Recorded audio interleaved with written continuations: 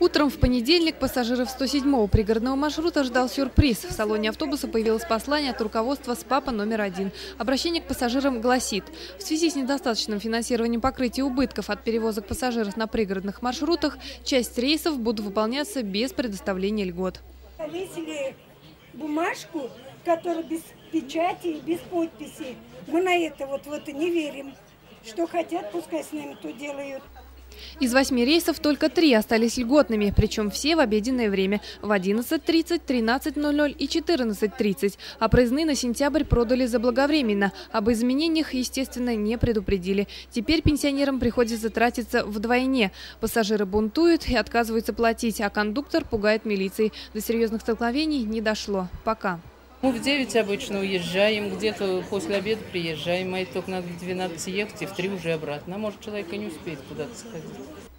Как заверили нас в Министерстве транспорта, инициатива отмены льготных рейсов принадлежит СПАПу, а они лишь одобрили их решение. До транспортников оказалось дозвониться нелегко.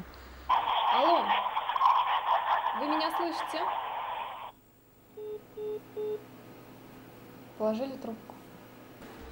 Несколько дозвонов, и все безуспешно. Начальник отдела эксплуатации Юрий Баранов молчал, либо бросал трубку.